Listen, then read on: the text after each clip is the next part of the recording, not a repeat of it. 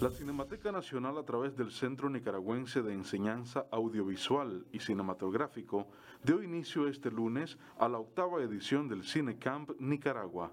Esta octava edición tenemos 19 estudiantes, gracias a Dios, y entre niñas y niños entre de las edades de 10 años, 12 años hasta los 17 años. Eh, los chavalos van a estar del 5 al 15 de diciembre, de 8 de la mañana a 4 de la tarde, viviendo toda todo la, experiencia de creación de un, una propuesta, un proyecto audiovisual. Eh, el objetivo de esto es que los, muchachos experimenten desde tener una idea, eh, plasmarla en un papel, eh, compartirlas con los demás compañeros, hacer grupos y ya llevarla a lo que es la etapa de, preproducción, producción, o sea, ya empezar a filmar y después la postproducción y la proyección final. A través de este campamento se promueve el acercamiento de los adolescentes a los diferentes medios audiovisuales de manera creativa aprenden la preproducción, aprenden a hacer sus guiones, desde la idea, cómo nace la idea, hacen un guion, luego se les enseña el uso del lenguaje audiovisual.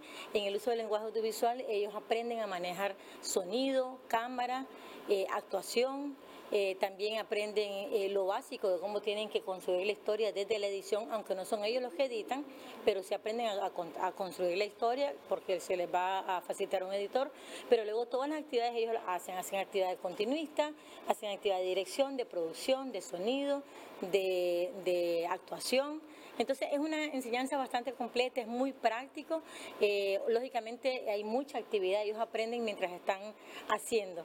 En esta edición de Cinecamp, participan más de 18 niños y adolescentes, como una idea del buen gobierno sandinista de promover la enseñanza de las artes audiovisuales. Yo aplaudo cualquier iniciativa que tenga que ver con la formación de los niños. Realmente inspira, realmente es bien gratificante aportar un granito de arena un poquito para la formación vocacional de estos, de estos muchachos, de estos adolescentes, preadolescentes y niños para que se inclinen o descubran su inclinación o no para una carrera tan bonita como el audiovisual. A mí me encanta, me llena mucho como persona, como ser humano, como profesor, eh, me hace sentir útil y me llena el corazón.